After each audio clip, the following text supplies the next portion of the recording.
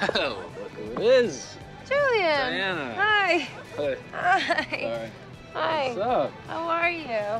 Good. How are you? I'm good. Yeah, I'm good. Ben told me you moved into his building. Yes, that happened. Yes. It's weird, right?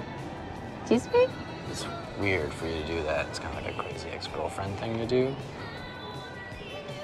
I mean, I didn't know that he lived there. Building. How would you? Julian. How Exactly. would you? Exactly. How would I? I don't know. I gotta go, but uh, it's great seeing you.